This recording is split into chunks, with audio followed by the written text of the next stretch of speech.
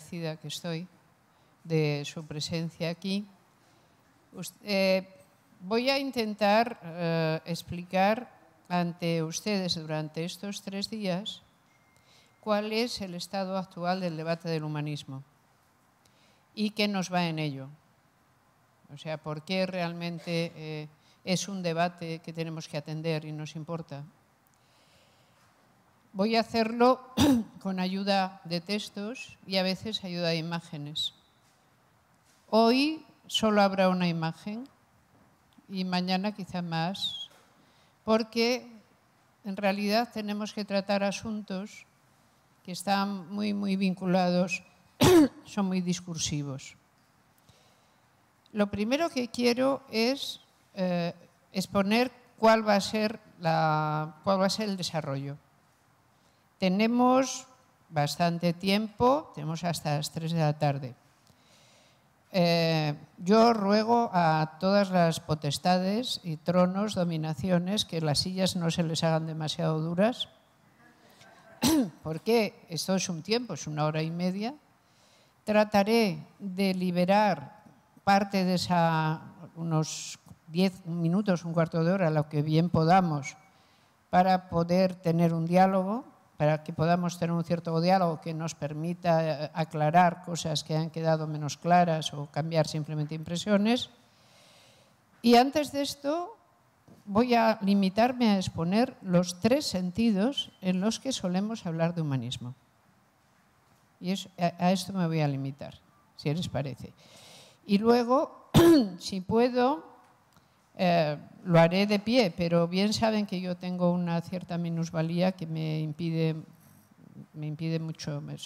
Y si, veo que no puedo, me sentaré y, lo haré de otra manera. El asunto es, lo vamos a tomar donde mi querida presentadora Ana Laura lo ha dejado. Es el mundo actual, el planeta que conocemos, afronta un rápido y asombroso proceso al que llamamos globalización. ¿Qué tiene que ver nuestro mundo en este proceso? Quiero que piensen en una imagen que es de Teilhard de Chardin, uno de los grandes, hace frío, a uno de los grandes teólogos del siglo XX. Teilhard afirmó que además de existir en nuestro planeta una biosfera, existía una noosfera. Es decir, que el mundo entero estaba siendo recubierto por un velo tenue, pero sumamente eh, compacto de mensajes, de pensamientos, que teníamos que imaginar el planeta como si fuera un capullo de seda alrededor del cual constantemente se tejían mensajes. Y a esta enorme cápsula le llamó noosfera. Por eso Telag ha sido declarado santo patrono de la red, como saben. Justo por este, por este concepto, Telag eh, es de alguna manera, hombre, nadie lo ha canonizado, pero el patronazo de la red está bajo su nombre. pero todo se andará, nunca se sabe lo que es evidente es que la percepción que tenemos del mundo ha cambiado. Ni nos podemos imaginar ya cómo era la percepción de humanidades no tan anteriores a la nuestra. Imagínense simplemente el siglo XIX. Imagínense que aun existiendo ya comunicaciones globales, estas comunicaciones sean muy lentas. Imagínense lo que significa en este momento la comunicación instantánea. De hecho, este seminario está siendo retransmitido y probablemente está siendo escuchado en algunos puntos de Europa de una forma instantánea. Esto es una novedad que cambia nuestra percepción del mundo en que habitamos. La verdad es que empezamos a pensar que es un mundo pequeño. Nuestro mundo nos parece pequeño porque es abarcable. De hecho, a nuestro mundo le podemos dar un paseo significativo en bastante menos que los 40 días de, eh, que le puso Verne. Si alguien se hiciera el siguiente desafío, quiero conocer todos los lugares del mundo significativos y solo dispongo de 10 días, podría hacerlo. Porque la rapidez de las comunicaciones es esta. Pero aunque no nos quisiéramos trasladar físicamente y quisiéramos disponer de cualquier cosa, cualquiera de ustedes tiene un Aleph en casa o en la mano. Recuerden el Aleph, es el sitio donde está todo. ¿Cómo le llamarían a ustedes a una tablet o a un teléfono? Si quieren buscar algo, lo encontrarán. La cosa más difícil y escondida, el dato que antes nos llevaba tres y cuatro meses encontrar, la imagen que siempre deseamos ver, pero no había manera de verla, el video que lo vamos a encontrar todo. Entonces, digamos, la pretensión de Telag se está mostrando cada vez más verdadera. Este es el mundo en que vivimos. Y bien, ¿cuándo la humanidad se puso en el camino de este cambio? Porque lo que sin duda es cierto es que este mundo supone un cambio. Pero ¿cuándo la humanidad se puso en el camino del cambio? Y cuando vayamos a este lugar encontraremos la primera ocurrencia del término de, eh, que nos ocupa, el humanismo. ¿Cuál es el primer humanismo del que hemos oído hablar? cuando por primera vez algo dice, esto es el humanismo. Suele ser el humanismo renacentista. nos tenemos que ir al Renacimiento y allí veremos que ocurre un término, es al que llamamos humanismo. Comenzó a utilizarse ese término para significar una nueva cultura, la cultura que acababa con el mundo medieval. Y fue el término que dio peana al Renacimiento. Y ahora necesito que echen mano de su sentido histórico y se pongan en el Renacimiento. A ver, esto no es fácil, pero verán. Eh, nosotros, nosotras pertenecemos a un tipo civilizatorio al que llamamos Occidente. De tal manera que para nosotros, para nosotras, todas estas son referencias comunes. Si por el contrario estuviéramos en un país de extremo oriente y dijéramos vamos a ponernos en el Renacimiento, es más que probable que solo alguna gente supiera a qué nos estábamos refiriendo. Pero sí que nosotras y nosotros tenemos la obligación, ya no solo la posibilidad, la obligación de saber de qué estamos hablando cuando hablamos de Renacimiento, porque es muy importante ese momento. ¿Por qué? Porque empezó el camino de hacernos lo que somos. ¿Cómo empezó? Con una cosa a la que se llamó humanismo renacentista. ¿En qué consiguió? Ah, es fácil. Recuerden, en resucitar una frase que en realidad era de un griego, de Protágoras. Frase que habrán oído bastantes veces. El hombre es la medida de todas las cosas. Pero ¿qué significa que el hombre es la medida de todas las cosas? Ya no qué significaba para Protágoras, ¿eh? sino qué significa cuando los renacentistas vuelven a decir el hombre es la medida de todas las cosas. ¿Qué quieren decir? Están diciendo y están tratando de que se note solo relativamente, están diciendo que no comparten los valores medievales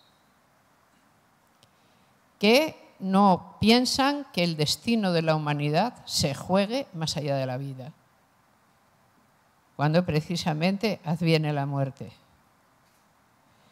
Están afirmando que todo el conjunto completo de significados que tejen y estructuran la Edad Media les empiezan a ser ajenos, que el mundo teocéntrico no les resulta convincente, y entonces, ¿qué ponen? La medida de todas las cosas significa lo que representa, por ejemplo, la figura conocida de Leonardo. el ser humano metido en un círculo, el círculo es la figura perfecta, el problema es el ser humano se conviene o no con el círculo. En todo caso, es la convicción que nunca se dejó plasmar en esa imagen de que en el medio de todo lo que sea estamos nosotros que no hay nada mejor ni superior en ningún orden. Y esto es una convicción bastante asombrosa. Es asombrosa porque choca con la visión religiosa del mundo. Es asombroso porque la visión religiosa del mundo ha mantenido siempre un par de cosas. Que el mundo no es verdaderamente nuestro destino, es Oc lacrimarum vale, es este valle de lágrimas. Nuestra vida comenzará justamente cuando ya no estemos vivos. Esta es la visión. Pero además que el ser humano no es exactamente el centro. El ser humano sí, no forma parte del mundo natural. Eso es sin duda. Esto en la visión religiosa está. Pero no es el centro del mundo, en modo alguno. El mundo es teocéntrico. Pues bien, si tú dices el hombre es la medida de todas las cosas, empiezas a decir que esa visión del mundo compartida la estás socavando. Empiezas a socavar la visión compartida. Pero el renacimiento no se limita a eso. El problema es, es la primera de las edades que conocemos que en vez de buscar el futuro, buscó el futuro en el pasado. Había un momento en que el mundo había sido perfecto. Había que volver a él. Nosotros, nosotras, pertenecemos a una humanidad en la cual lo bueno siempre está por llegar. Es, la idea de progreso, la idea de que el futuro va a ser mejor que el pasado, todo está siempre por hacer, todo está adelante. El renacimiento no puede tener esa idea, para nada. ¿Cuál tiene? La perfección ya existió, solo hay que volver a ella. ¿Cuál fue? fue la gran cultura grecolatina. Fueron realmente los grandes griegos y los grandes romanos. A ellos hay que volver. Hay que volver a edificar como los romanos. Hay que volver a hacer las estatuas como las grecolatinas. Hay que volver a pintar incluso como ellos pudieron pintar, aunque no nos queda nada para poder volver a pintar como ellos. Porque hay cosas de las que nos quedan vestigios que hacen los grandes renacentistas italianos. Lo vemos, por ejemplo, en el diario de Cellini. Excavan sin cesar. Hacen una arqueología un poco asilvestrada, porque claro, el cuidado que hoy tomamos con las piezas arqueológicas no lo tienen, y cuando encuentran algo extraordinario, pues se admiran y dicen, esto, esto es exactamente lo que hay que volver a hacer hay que resucitar el maravilloso mundo grecolatino, el mundo que inventó la poética, que inventó el teatro, que inventó la estatuaria. En todo ello hay que volver, incluso en la política. ¿A ustedes no les extraña que Carlos realmente se llame a sí mismo Carlos V y primero de España, César? el César Carlos. No solo llamarse y resucitar, no, porque no hacía falta el viejo imperio romano germánico, resucitar los títulos romanos. ¿Qué quiere decir? De nuevo vuelvo a Cellini, porque era un tipo que, como lo hablaba todo, cuando uno lee sus escritos es maravilloso. Cellini está, fíjense qué extraña escena, el Papa está cercado en el castillo de Sant'Angelo. Quiere escapar pero llama a Cellini porque quiere fundir todo su tesoro para irse. Quiere fundir todo el oro para poder llevárselo. Entonces, Cellini le está ayudando a fundirlo. Y están echando eh, piezas maravillosas que se están convirtiendo en líquido. Y el Papa le comenta, ahora nos, que somos realmente los herederos de los Césares, tenemos que escapar. ¿Cuándo un papa había expresado que era heredero de los césares?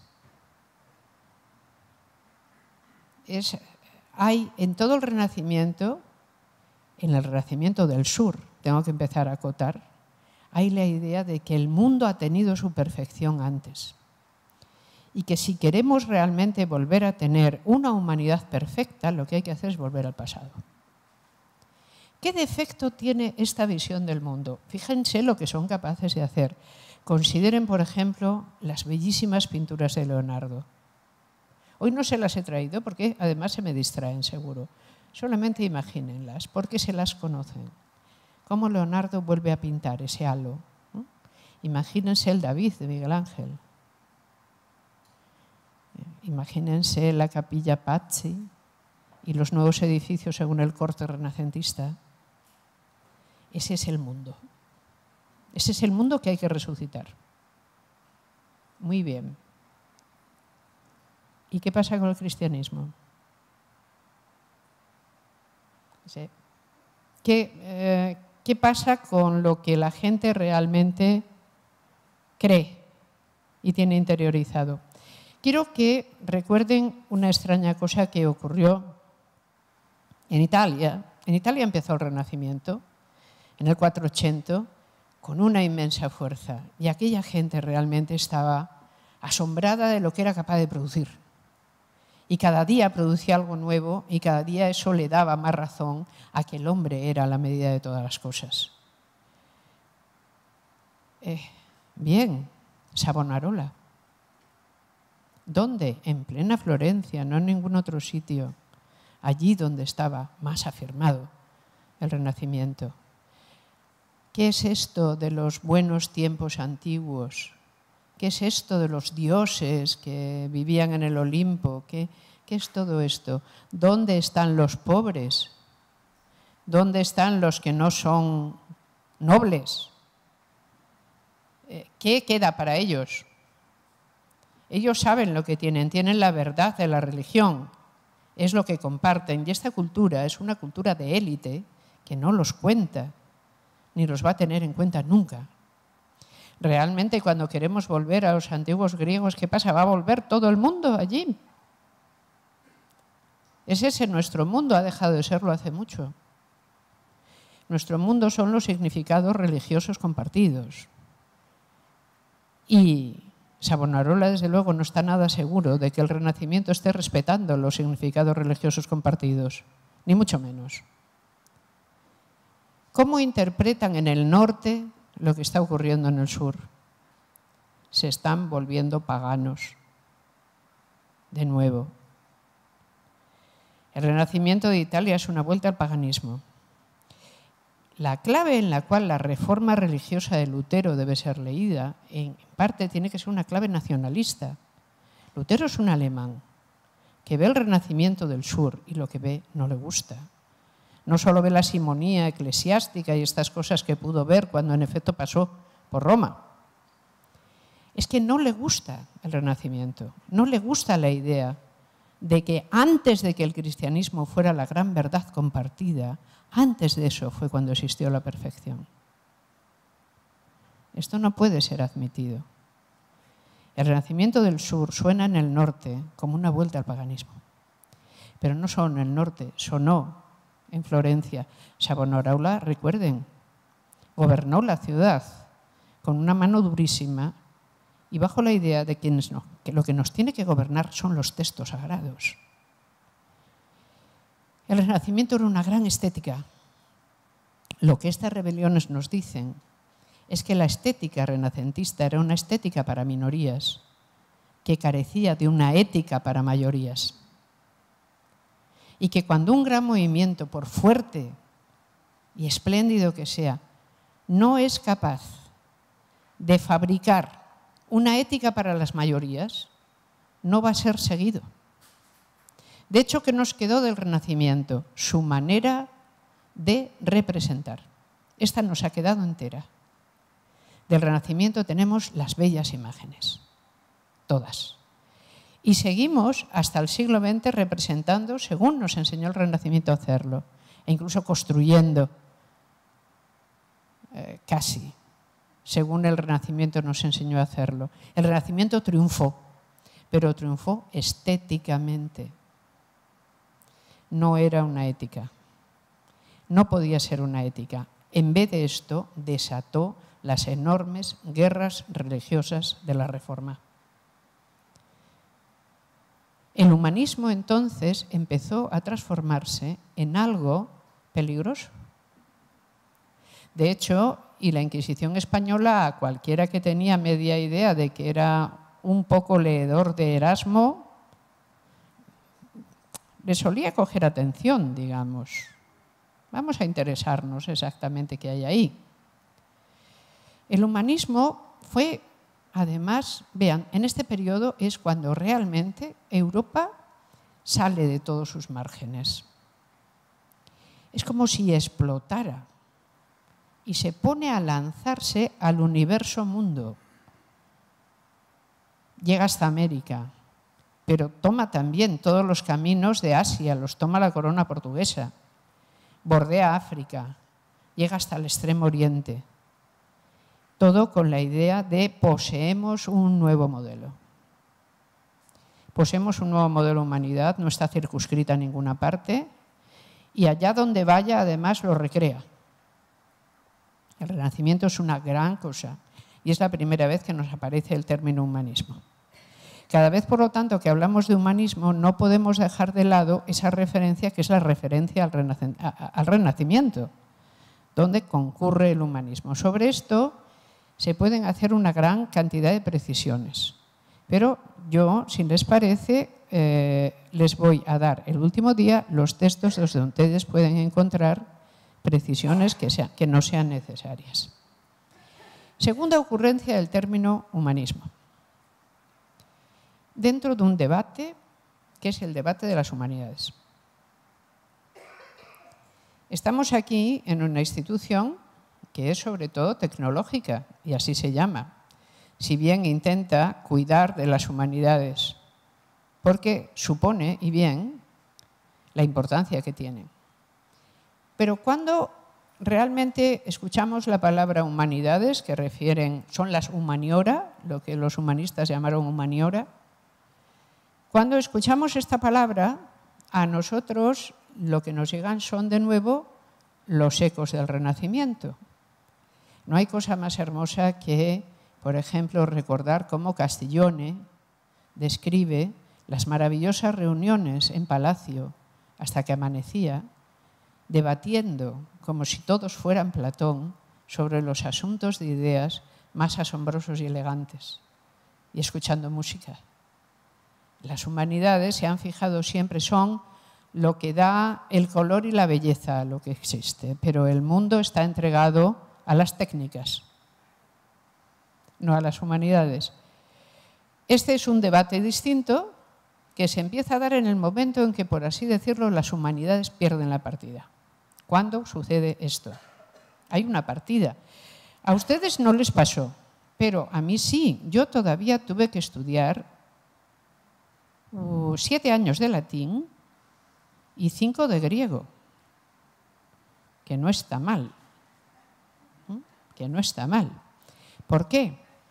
Porque mi enseñanza que yo tuve pertenecía a un paradigma en el cual la manera en que alguien era culto es el paradigma del renacimiento. Tú realmente eres una persona cultivada si conoces el latín y el griego si eres capaz directamente de entenderte con la gran cultura antigua, si perteneces al paradigma de lo bueno estuvo en el pasado.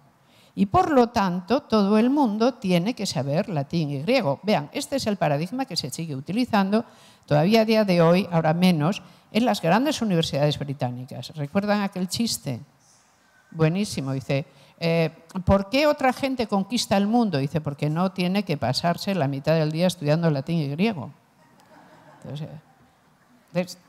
el chiste mismo significa, que me parece que es de Eton, nacimiento en Eton, significa que hay un cierto despego de la gente, ya de la, tanto estudio de la cultura clásica, ¿para qué?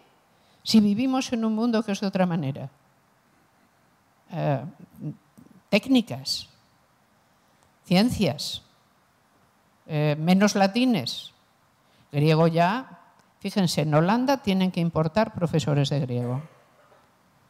Hace tanto que la gente no estudia griego que cuando necesitan alguien que pueda enseñar griego clásico tienen que importarlo. Porque está totalmente abandonado el griego y el latín casi. ¿Qué decimos siempre cuando vemos que esto es así? Decimos, ah, decimos los de letras, qué pena. No, no es verdad, no es una pena. Realmente el latín y el griego eran dos filtros terribles que se ponían a la inteligencia de alguien. Hoy los filtros están en otra parte, pero sigue habiendo filtros. Y para nuestro entendimiento realmente del mundo antiguo, un uso conspicuo del latín y el griego no es tan necesario. Con que sepamos quién es bueno o buena haciéndolo, es más que suficiente quizá. Y hay, por cierto, unas filólogas extraordinariamente buenas, que les recomiendo muchísimo. La mejor en griego, pues probablemente Jacqueline de Romilly. Y en cuanto a letras latinas y vida latina, Mary Beard. Entonces hay gente suficiente como para poder. No se necesitaban siete y cinco, doce años de lenguas clásicas, quizá en condiciones, ¿no? Pero ahora la gente qué hace, ¿cuál es el filtro? Las matemáticas. ¿Cuántos años tiene que escuchar escuchar clases de matemáticas y hacer matemáticas la gente. ¿Las van a utilizar después de un modo sistemático en su vida corriente? ¿La gente que va a hacer leyes necesita resolver ecuaciones a gran velocidad? ¿Y saber la trigonometría sí, Parker? Y no te digo ya si nos metemos en cosas más sustanciosas como la teoría del número o cosas parecidas. No, pero ahí está el filtro. El enorme filtro en nuestro tipo educativo son las llamadas ciencias formales, ni siquiera las ciencias naturales. Pero el filtro sigue puesto. Ahora bien, ¿las técnicas y este filtro tienen algo que ver? ¿Cuándo empezó el enorme desarrollo de las técnicas que las hizo verosímiles? Fíjense, todavía hay en el castellano a la gente que eh, bueno, que propone máquinas, se les llama, y a día de hoy, ingenieros, porque fabrican ingenios, o sea, unas cosas que sirven pues, para subir agua desde muy abajo a muy arriba, para fabricar máquinas, o para canalizar ríos, o para establecer puentes.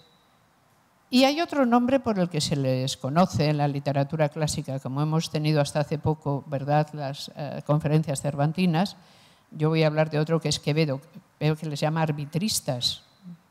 Recuerden cuando Quevedo en el Buscón dice, me encontré con un arbitrista que viajaba a la corte y llevaba una maleta llena de arbitrios, es decir, de dibujos y cosas con las cuales mejorar todo lo que fuera mejorable. Pero ese es nuestro mundo. Nuestro mundo pertenece a los arbitristas. Pero el enorme desarrollo de las ciencias comienza en el siglo XVII, en el siglo XVIII ya es pasmoso y el siglo XIX les pertenece enteramente. Es cuando se fragua entonces la oposición entre cultura humanística y cultura científica. Es cuando aparece el tema donde vemos de nuevo el humanismo, el debate de las dos culturas. ¿A qué cultura se pertenece? A la cultura humanística o a la cultura científica. ¿Son acaso esas dos culturas incompatibles? Bueno, se puede decir que no, pero se sospecha que sí. Es elegante, adecuado y honroso decir que no, pero si alguien dice que no muy seriamente, alguien le responderá, ¿alguien puede tener una formación completa en las dos culturas? ¿O ya no es posible? Nuestra formación casi toda es demasiado especializada. Es demasiado pedirle a alguien que esté al tanto de todos los últimos avances en genética y conozca perfectamente las últimas excavaciones que se hayan dado, pues, sé, para conocer al Homo antecesor. Y dices, pero si hablan de lo mismo. sí, pero una es historia, de alguna manera, y otro es otra cosa. El genoma humano es un mapa, la distribución de los seres humanos por el planeta en el siglo, yo qué sé, en el 10.000 AC, cuando acaba la última glaciación, es otro tipo de saber. Letras y ciencias. Yo no sé si aquí les hacían optar. En España sí, era obligado. En un momento dado ya de las preparatorias, nuestros bachilleratos, uno tenía que optar si quería eh, estudiar ciencias o letras. Y a partir de entonces había optado para siempre. Había, por lo tanto, una cierta oposición en el sentido de que no era verosímil que pudiera la gente dedicarse con el tiempo necesario a dos cosas. Con todo, ¿qué pasaba?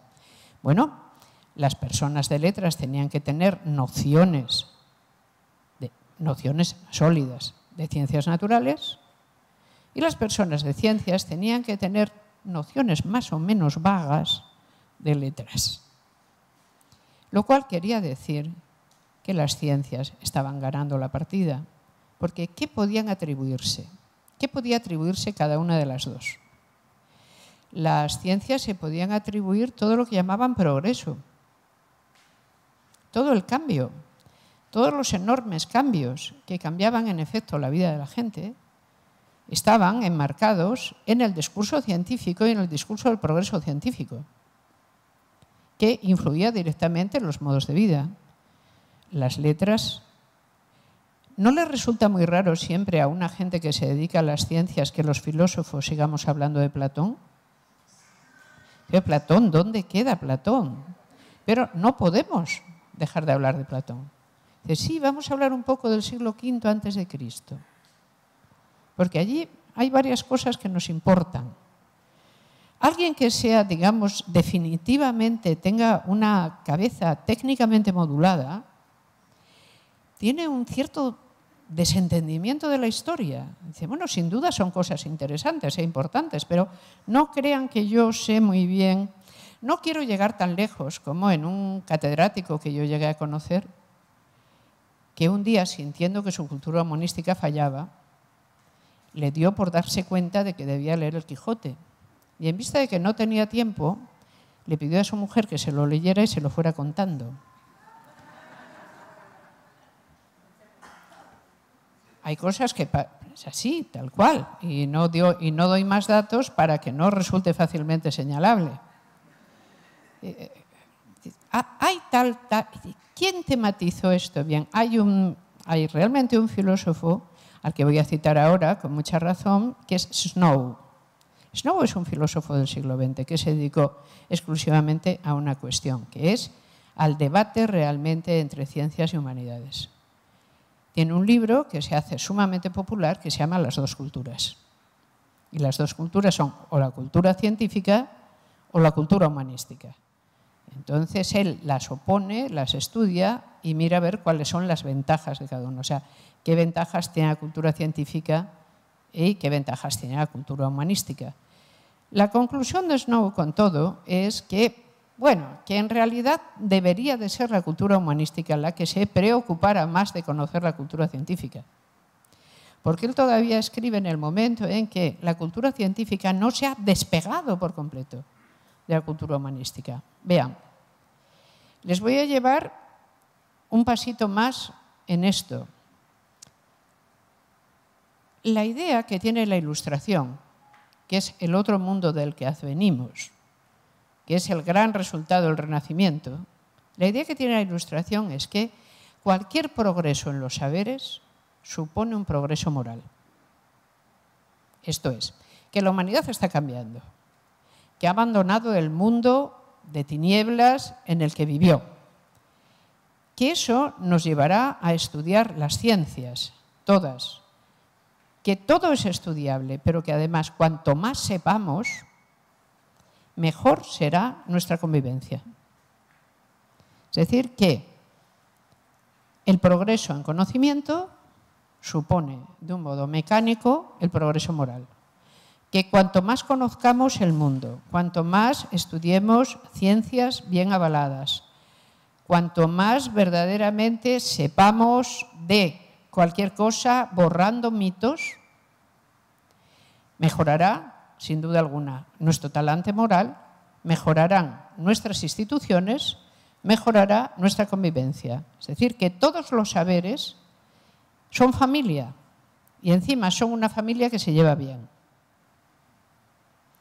Que es, por lo tanto, bueno y adecuado cultivar el saber, porque el último objetivo del saber es la felicidad humana. Y sobre eso empieza a funcionar una idea antes no existente, que es la idea de progreso. La idea de progreso la tenemos tan connaturalizada que para la gente es una idea de sentido común. totalmente. Es una idea de sentido común. Cuando uno intenta contar que después de todo la idea de progreso no es una idea de sentido común, la mayor parte de la gente se revela. Yo tuve esta experiencia varias veces. Por ejemplo, es una experiencia docente típica. Si tú decías, bueno, imaginemos que realmente no ha habido progreso alguno. Y ¿Cómo que no? Está, la idea de progreso está tan naturalizada que si a la gente le dices que no ha habido progreso, eh, cree que estás bromeando. Como poco que estás bromeando.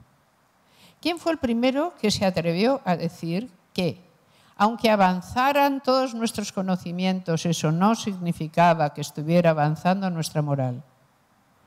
Un pensador de primera línea, pero rarito, Jean-Jacques Rousseau. Digo rarito porque Rousseau es origen de varias tradiciones, muchas de ellas contrarias. Y además porque tenía un carácter también el hombre que, en fin, también tenía sus cosas. Entonces, ¿qué dice Rousseau? Rousseau es fantástico porque, vean, está él yendo a visitar a, a los ilustrados, de vez en cuando les encarcelaban algo, ¿no? porque sus ideas no acaban de casar bien con el ambiente y les podía pasar cualquier cosa, por ejemplo, que les encarcelaran un poquito. Y entonces todos sus otros amigos, en vista de la cosa, pues con una merienda, se iban a hacerles una visita al sitio donde estuvieran encarcelados. El caso es que Rousseau andaba pensando que una academia, no demasiado conocida, pero una reunión, por lo tanto, de gente erudita y sabia, la de había convocado un premio. Y el premio era, se dará un premio bueno a un escrito que presente el siguiente tema cómo todos los avances que estamos teniendo en el conocimiento hacen la felicidad de los seres humanos.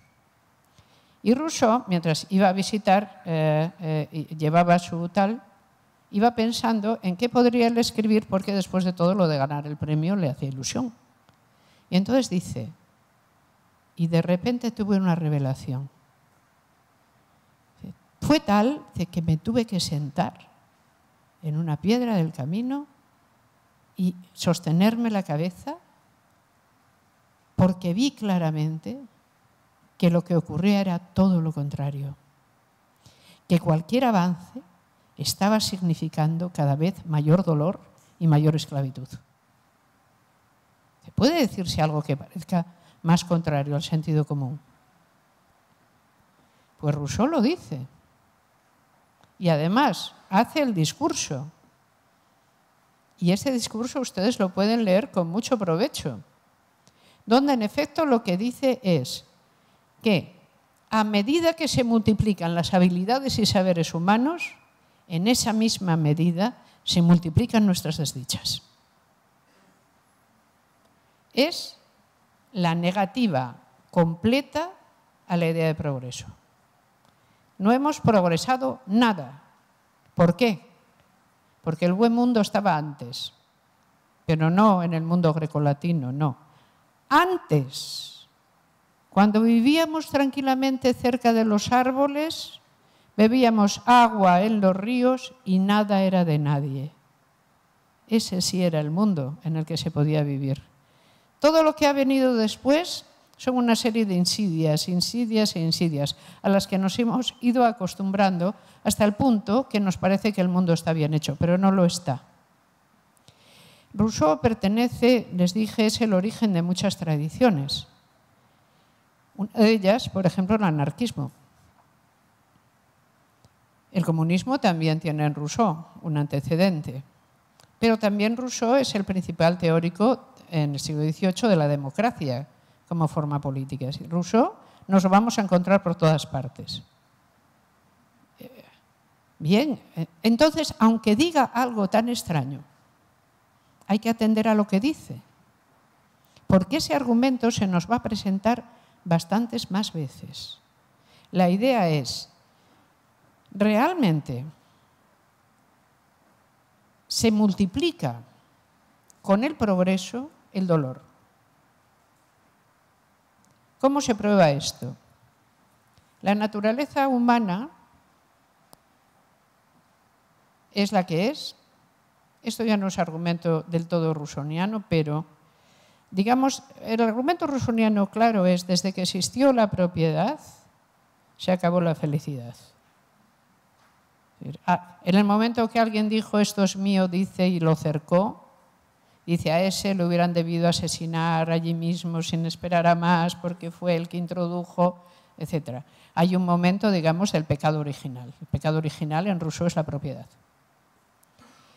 Pero se puede ver de otra manera sin tomamos, tenemos que hablar de Rousseau porque no sería sensato no recordar que es él el primero que se opone a la idea de progreso.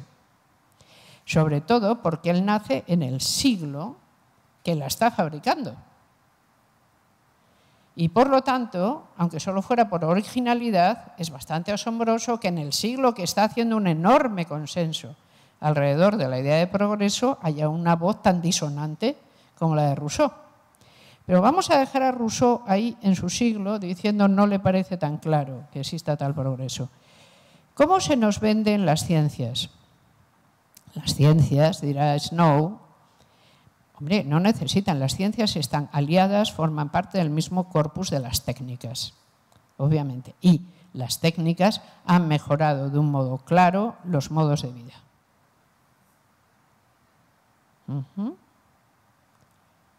Las bombas atómicas mejoraron mucho los modos de vida de la gente que, estaba al final de la Segunda Guerra.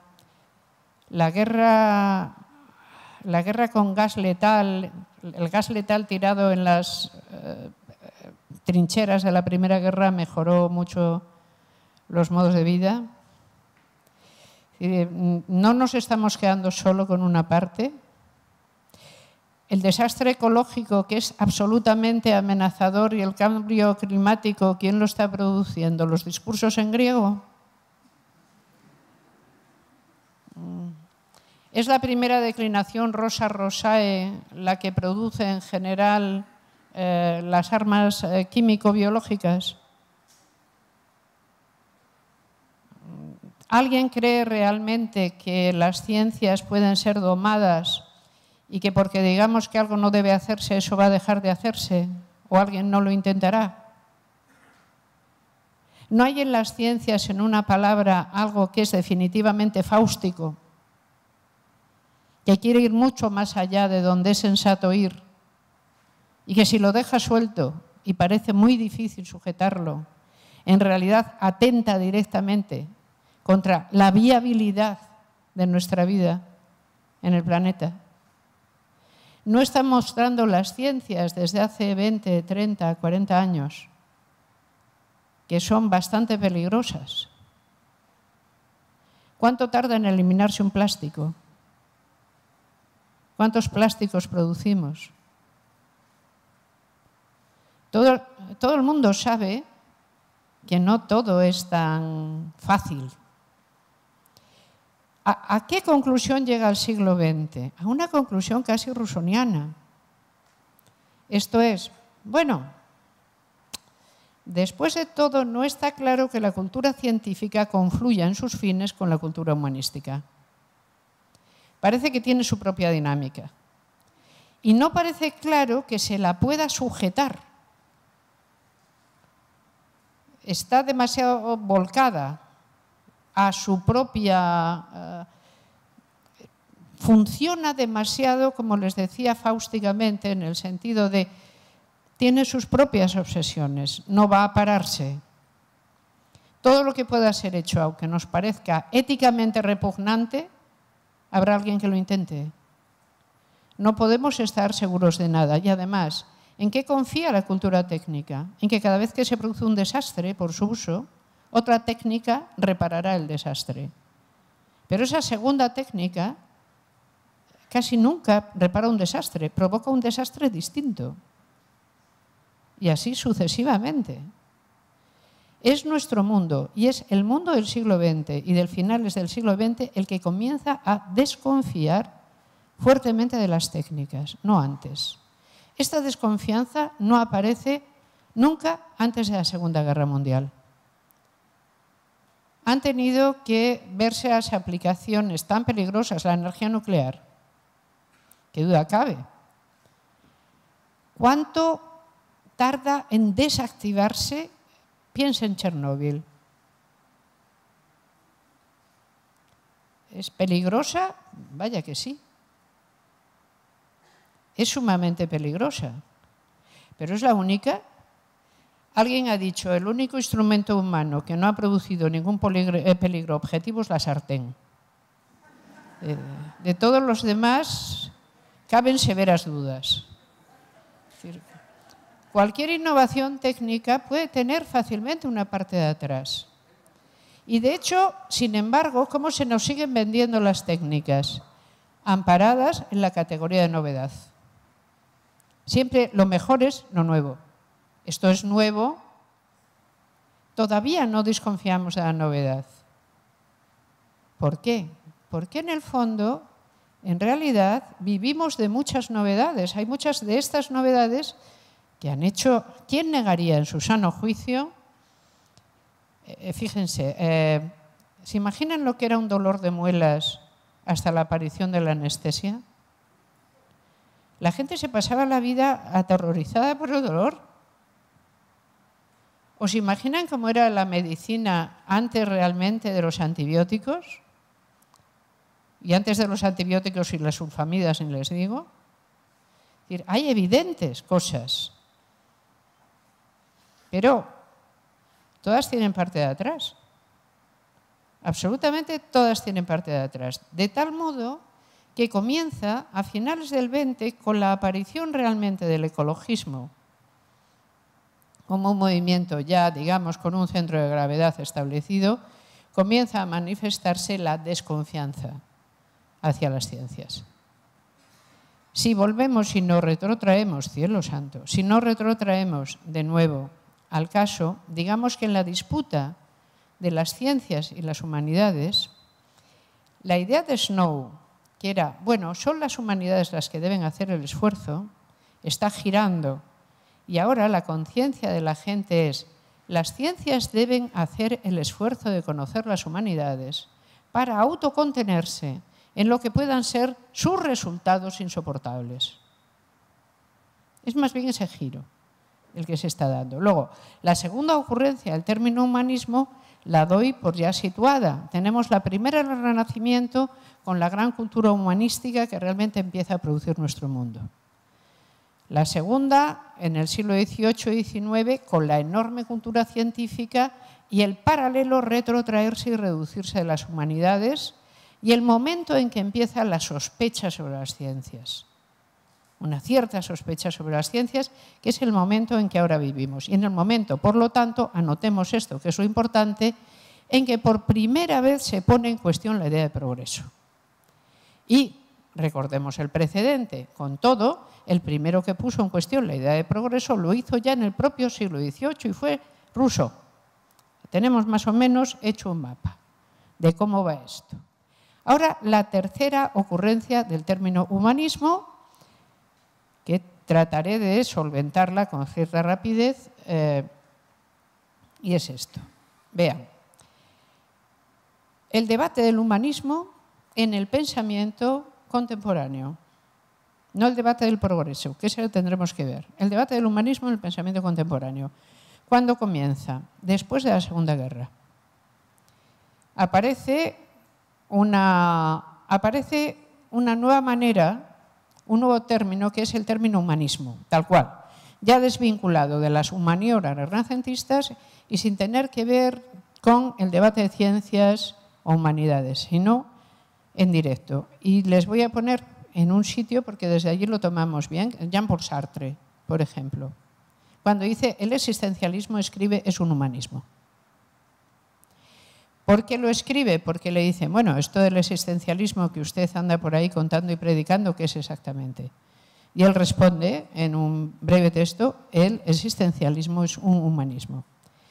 ¿Qué se supone que quiere decirse cuando se dice eh, de alguien que es un humanista o que él o ella se inscriben dentro de la tradición humanista.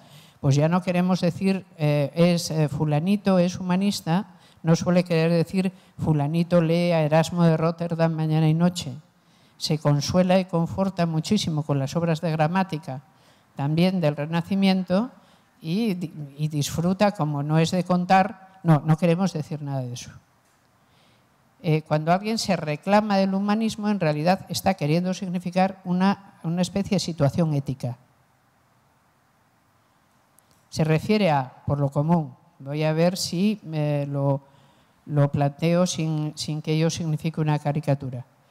Se refiere a una asunción, digamos, ya no tan directa, del hombre es la medida de todas las cosas. A saber, nosotros somos seres humanos, estamos aquí, los seres humanos tienen una dignidad propia que ha de ser respetada. Esta dignidad se nos ha ido revelando por sucesivas fases es decir, no estuvo toda la humanidad siempre de acuerdo en esto, pero empieza a estarlo. Esto quiere decir que tienen que estar dotados de derechos inalienables. El respeto al ser humano es lo más importante que hay y ha de ser el fundamento de cualquier acción o de cualquier codificación. No hay nada más alto que los seres humanos, por, supuesto, es decir, es un discurso antropocéntrico, no teocéntrico, pero es un discurso tan exitoso que incluso los discursos teocéntricos empiezan a declararse humanistas.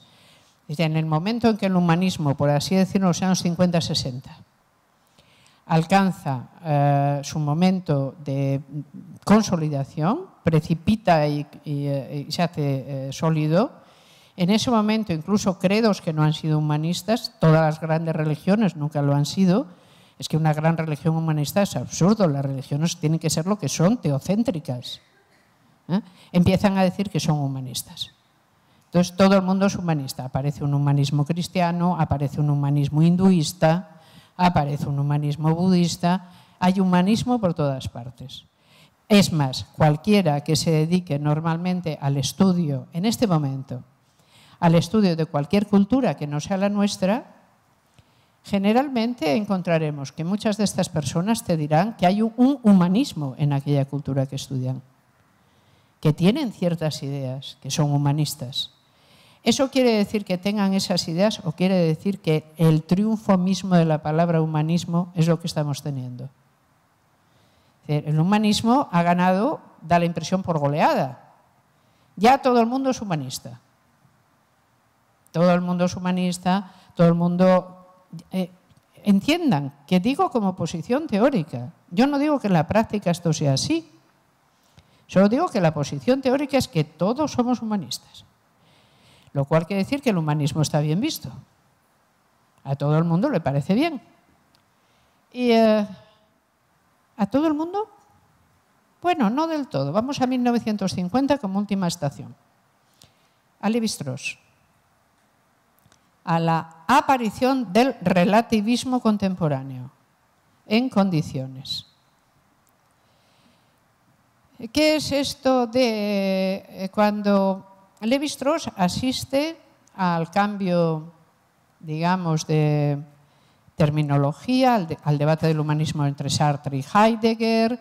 Todo le parece muy bien, pero tiene un discurso en sede importantísima, que es la UNESCO, donde acude y dice que no hay tal humanismo, que no hay tal humanidad, que cada cultura humana es un modo de vida en sí mismo y que por lo tanto la primera eh, fragilidad del humanismo es calcular que solo existe una humanidad y que eso simplemente es falso y que en tanto que no exista una sola humanidad, las ideas humanistas son unas ideas que tiene Occidente y nadie más que Occidente, y que son unas ideas culturales como otras cualesquiera, tan dignas de respeto como aquellas culturas que no las poseen en absoluto.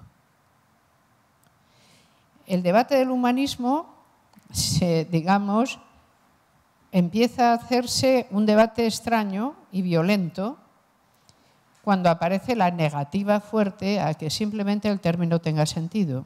Y eso me obliga a hacer un repaso brevísimo, sí, de verdad, brevísimo, no me queda otra que hacerlo brevísimo, a qué es esto de que la humanidad es una.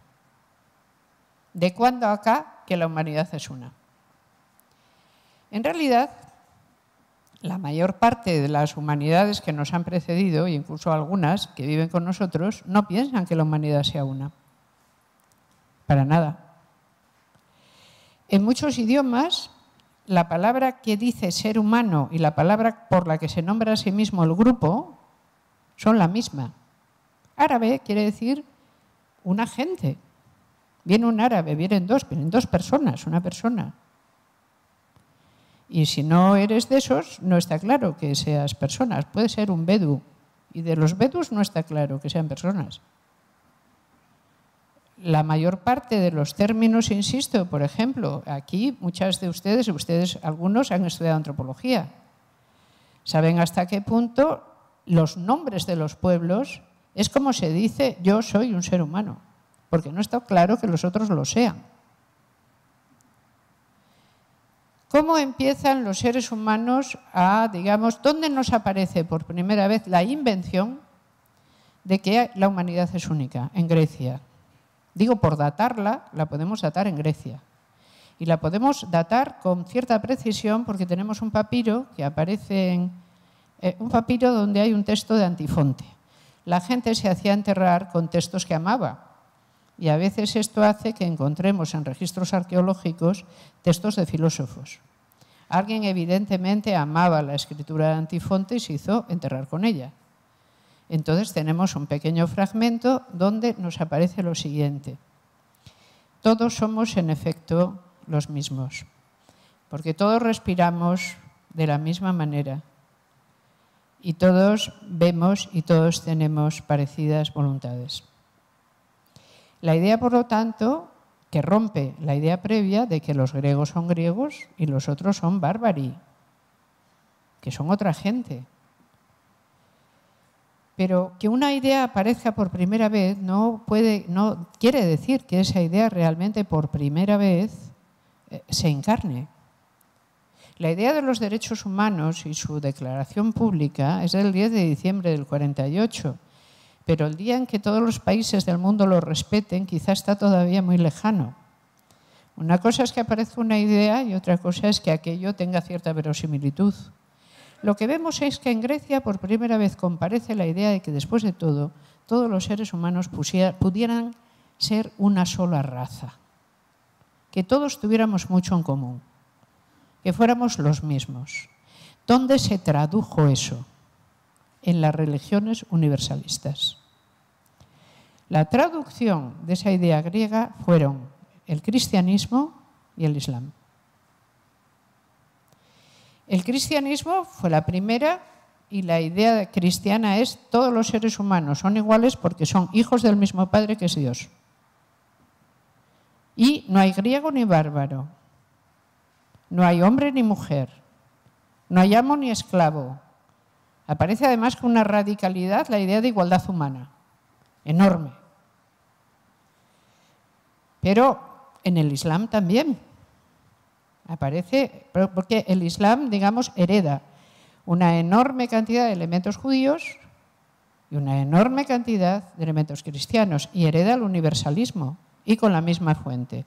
O sea, todos los seres humanos han sido creados por Dios, por Alá, todos, además, la religión, esta, la última y verdadera revelación, tiene que cubrir el planeta completo y a la Tierra completa para que en efecto solo exista una comunidad de fe. Fíjense que aunque a América no llegan tanto los ecos, porque no llegan, del terrible fundamentalismo islámico, que a Europa nos llegan todos los días, porque está allí mismo, porque está allí mismo. Eh, yo he tenido la experiencia imborrable para mí de estar haciendo investigación y hablando con personas musulmanas, no diría yo que del todo tolerantes, en India, donde saben que hay una comunidad musulmana, además de... y ver y percibir que yo tenía una mucha mayor continuidad con ellos que con las personas de religión hinduista porque sencillamente compartíamos una visión universalista cuyo último fundamento estaba en el sustrato religioso que el hinduismo no compartía en absoluto. La idea de igualdad humana presentada en el contexto, por ejemplo, del hinduismo, simplemente no tiene sentido. Cada ser humano pertenece a una casta y en ella debe vivir y desarrollarse. Y las castas no tienen nada que ver entre sí, ni es bueno que lo tengan, ni es bueno que se mezclen. Por el contrario, quienes digamos tenemos de partida los elementos universalistas que se crearon tanto en la enorme exploración de Alejandro, de Alejandro Magno, como más tarde en la vida cristiana, que se extendió por todo el Imperio Romano, y más tarde en el Islam, que llegó todavía más lejos, compartimos una especie de núcleo universalista que nunca se va de nuestra tradición, pero un núcleo universalista que muchas otras tradiciones no han aceptado jamás. Y ahora es cuando desearía que la persona que anda con el ordenador presentara la única imagen que quería yo que viéramos hoy ver. Eh, una tábula, la peutengeriana. La, ¿quién, quién, ¿Quién la va a poder poner aquí? Bien, tenemos, esta es la versión arreglada, para que se entienda, y luego tenemos el original que nos ha llegado. ¿Lo podemos ver? Bien. Si se pone así, se ve poco. Vamos a poner la otra. Ah, eh, llegaremos. Ahí. Lo que les pido es que por favor esta tarde se la miren. La tábula. Es el primer mapa del mundo del que disponemos.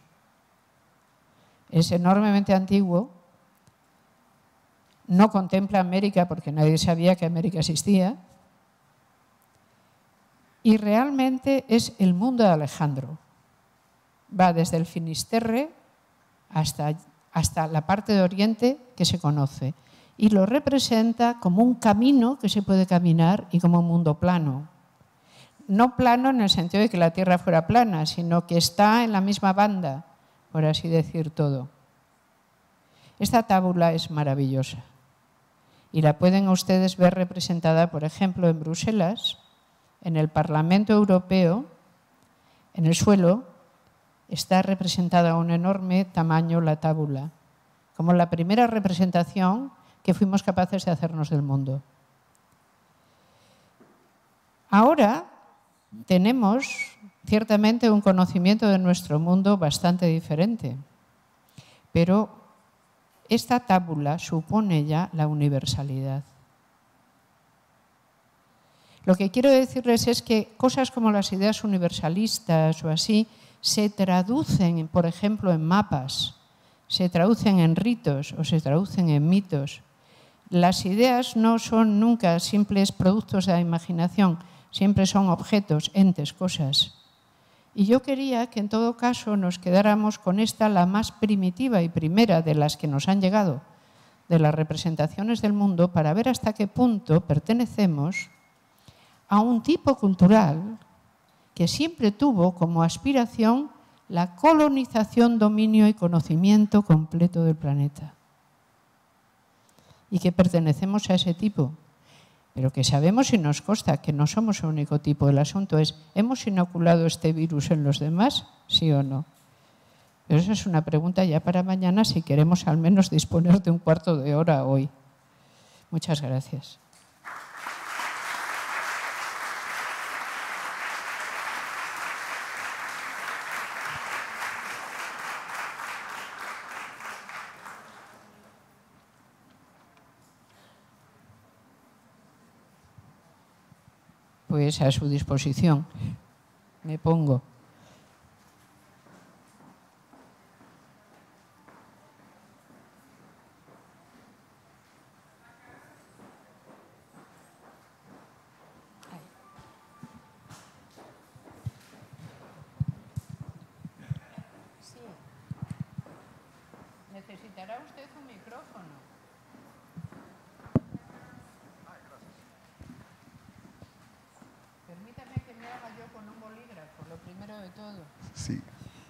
Sí, gracias. Sí, se, escucha, ¿verdad? Bueno. Bueno, pues muchas, muchas gracias por tan magnífica eh, exposición. Yo, yo quería preguntarle a Amelia, ¿qué opina eh, con base en lo que ha hablado del paradigma ahora casi religioso de la innovación? Eh, ¿Qué tanto lo valoramos, todo lo que valoramos, tanto todo lo que valoramos como innovador es realmente un avance científico y no simplemente un avance técnico, eh, apegado a una racionalidad más bien como empresarial o utilitarista. Eh, por un lado, quería preguntarle eh, eso. Y por otro, aunque lo mencionó brevemente, pues a mí me gustaría un poquito de profundización sobre su idea en el carácter de lo relativo pues qué opina del llamado carácter universal de los derechos humanos que eh, pues está ahora eh, tan, tan de moda. Nosotros en México reconocemos por la vía de nuestra constitución a los derechos, a los tratados internacionales de derechos humanos como ley suprema. Pues esas dos preguntas y mil gracias de antemano. Nada menos. Bueno, muchas gracias. Son preguntas complicadas, usted bien lo sabe. Eh, hay algo aquí que quizá, vamos a ver, mm, voy a leer un párrafo de un filósofo que ya que me lo traje, se sentiría el pobre un poco como poco usado, ¿no? Habiéndolo traído ante esta cortesa asamblea, vamos a ver un poco de lo que aquí puso para que nos dé idea de entrada, además, y lo podamos conservar para, para mañana. Dice, Hoy pensamos por partes del mundo. Los únicos que todavía no han aprendido a hacerlo son nuestros filósofos y nuestros historiadores. ¿Qué pueden significar para nosotros esas ideas y perspectivas que se presentan con la pretensión de una validez universal y cuyo horizonte no excede en realidad los límites de la atmósfera ideológica del europeo de Occidente? Véanse sobre este punto nuestros mejores libros. Cuando Platón habla de la humanidad, se refiere a los griegos, en oposición a los bárbaros. Corresponde ello perfectamente al estilo ahistórico del antiguo vivir y pensar. Y dentro de esta suposición limitativa conduce a resultados que son exactos para los griegos. Pero cuando Kant filosofa sobre ideales éticos, y los derechos humanos que usted ha citado son una de estas cosas, cuando Kant filosofa sobre ideales éticos, afirma la validez de sus proposiciones para los hombres de todas las clases y tiempos. Y si no lo declara explícitamente es que, porque para él y para sus lectores la cosa es completamente evidente. En su estética no formula el principio del arte de Fidias o de Rembrandt, no, no, el del arte en general. Y sin embargo, las formas del pensar que él determina como necesarias son las formas del pensar occidental exclusivamente. Con solo referirse a Aristóteles y considerar cuán distintos resultados llega este filósofo, hubiera debido comprenderse que el pensador griego, al reflexionar acerca de sí mismo, es un espíritu no menos claro que el pensador alemán. Las categorías del pensamiento occidental son tan inaccesibles al pensamiento ruso como las del griego al nuestro. Una inteligencia verdadera e integral de los términos antiguos es para nosotros tan imposible como los términos rusos e indios, o los chinos o el árabe moderno, cuyos intelectos son muy diferentes del nuestro. La decadencia de Occidente de Spengler. Antes de que Levi-Strauss diga aquello de que no hay universalismo, lo ha dicho Spengler en uno de los libros más leídos. Este que tengo en la mano es uno de los cuatro tomitos que me ha proporcionado Ana Laura de esta misma biblioteca porque no me iba yo a venir con todo Spengler puesto, compréndanme. ¿eh? Y se lo pedí. Este libro fue extraordinariamente influyente, extraordinariamente influyente. Y si quieren encontrar un discurso verdaderamente antihumanista, está aquí, en Spengler en particular. Y si quieren encontrar todos los descreimientos posibles eh, y eh, sobre todas las ideas que suponemos más afirmadas, están todos aquí. Pero con todo encontraremos a más gente con la que trataremos lo mismo. Porque esto no es el único. ni mucho menos. Tiene contemporáneos eh, que también eh, tienen su misma manera de pensar. Usted me ha dicho, ¿los derechos humanos son universales? Vamos a ver, es evidente. ¿Cuántas democracias hay sobre la Tierra? Que sean democracias reales, no tantas. No tantas. ¿Cuánta gente vive en democracia? Mucha menos que la que vive bajo autocracias. Por lo tanto, y aún en democracia, en todas y en las nuestras, ¿son los derechos humanos respetados en todas ellos en su integridad? Ciertamente sería muy optimista decir que sí lo son. Luego, ¿qué es lo que el humanismo sabe? Y por eso Sartre lo dice, el humanismo es una disposición tentativa, no es una certeza. Es la disposición tentativa, según Sartre la define, es lo siguiente. ¿En qué consiste el humanismo?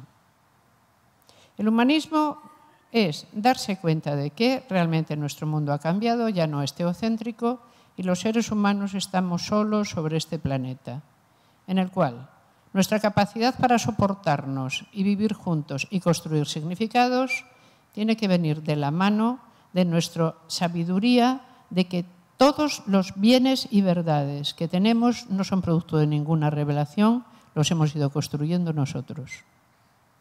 Por lo tanto, que no hay nadie más allá ni más alto que nos los haya revelado. Y el humanismo, por lo tanto, es una disposición hasta cierto punto poco optimista sobre la propia naturaleza humana. Si el ser humano no se toma a sí mismo como lo mejor y más válido y más digno de todas las cosas, esto es algo que solo el ser humano puede hacer. Lo que nos puede destruir a día de hoy no son ni los volcanes, ni los maremotos, ni los terremotos, somos nosotros mismos. Nuestra fuente de peligro mayor somos nosotros mismos. O tomamos las ideas que nos hagan llevar una convivencia verosímil o no las tomamos. Eh, los derechos humanos, allá donde las democracias están firmes y asentadas, los derechos humanos lo están porque ya no son simplemente declarativos, han pasado a formar parte de las constituciones y las informan. Luego yo creo que por lo menos y por esa parte, pero ¿cuál es la enorme cautela? ¿Recuerda usted la idea de Francis Fukuyama en El fin de la historia? Es muy clara. Francis Fukuyama escribe un delicioso texto corto que ha sido muy mal interpretado y muchas veces, y sin razón, en el cual dice, bueno, realmente a nuestra generación le toca contemplar el fin de la historia. ¿Qué significa esto? Que cesarán las guerras, que la democracia se impondrá como el sistema de gobierno normal en todo el planeta Tierra y que todo realmente se solucionará mediante debate y consenso. ¿Lo ven ustedes muy cercano? Eh, sin embargo, esta es una de las creencias del humanismo. Si alguien representa bien las creencias del humanismo, es el texto El fin de la historia de Francis Fukuyama. Es la idea de que por fin puede existir un mundo reconciliado. ¿Qué es lo que otros dicen? Esa es una idea religiosa en origen y por lo tanto es un mito. No va a ocurrir nunca. Es que hemos trasladado al tiempo de dentro la idea de la esperanza extramundana.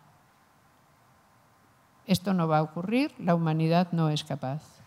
Simplemente no es capaz. ¿Por qué? Porque es una especie natural como otra cualquiera. Y por lo tanto tiene todos los inconvenientes, impedimentos y limitaciones que tienen todas las especies naturales es una gente, nosotros nos creemos, somos una gente que pensamos muy por encima de lo que somos en efecto capaces de hacer. Esto yo casi creo que lo dejamos para el último día cuando querramos entrar en depresión. De momento, de momento yo me quedo con que el credo humanista en efecto es un credo, es decir, no es ninguna constatación, es un credo que ese credo humanista tiene que lidiar, y a eso dedicaré mañana si puedo la sesión, tiene que lidiar fuertemente con la idea de progreso, para saber exactamente situarse. Y que nadie asegura que todo vaya a ir bien. Es decir, que es un credo que tiene que ser mantenido por voluntades operativas porque nadie asegura que todo espontáneamente vaya a ir bien. más bien parece que es más fácil lo contrario. Con todo, yo lo único que quiero hacer es exponer los argumentos. No sé si con esto le he respondido del todo o solamente he iniciado una respuesta.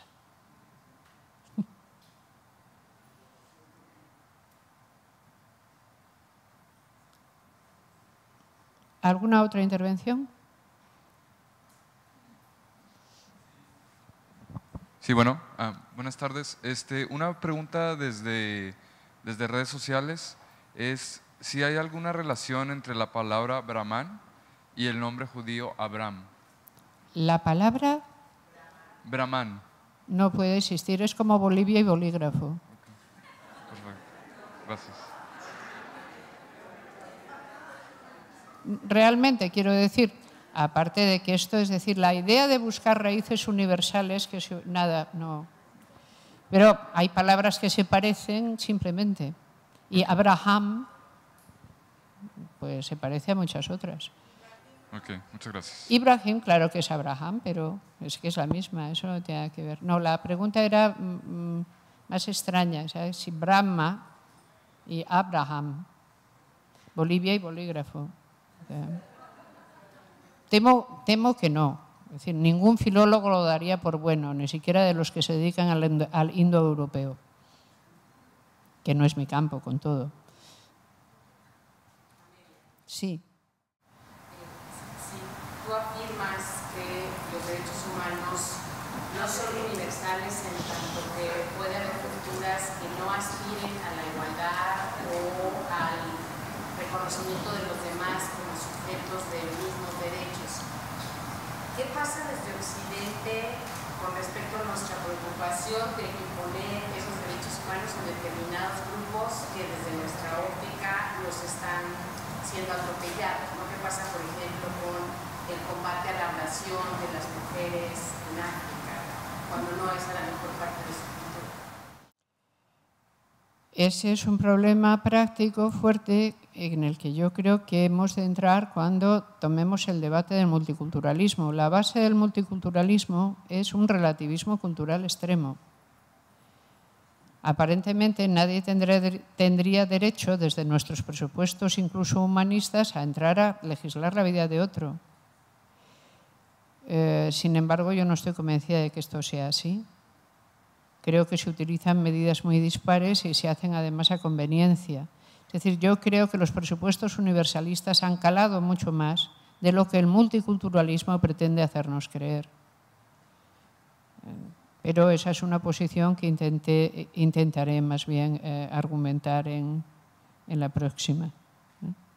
porque es, gran parte de su núcleo es el multiculturalismo, la idea de progreso, si hay o no progreso moral y en qué sentido. Pero la gran negativa siempre es la negativa de Rousseau. No hay ningún progreso moral. Puede que haya diversos progresos técnicos, pero no existe ningún progreso moral. Esto es la idea, digamos, el antihumanismo militante será la idea, eh, por ejemplo, un autor del que trataremos, Gray, eh, será su idea fundamental. O sea, a saber, eh, progreso moral simplemente no existe. No lo hay. Si parece, tenemos tiempo para una cuestión.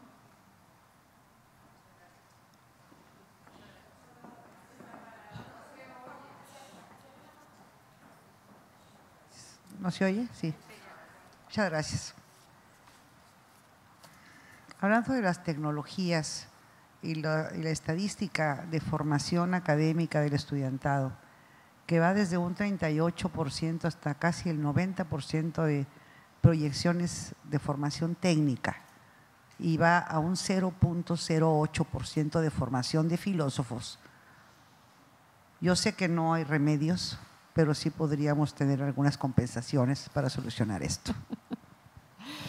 Yo creo que es difícil. Eh, la formación técnica asegura muchas cosas. Por ejemplo, es socialmente prestigiosa, económicamente más respaldada. Y démonos cuenta de una cosa, María Elena, aunque esto no nos ponga precisamente eh, en un estado de ánimo especialmente bollante.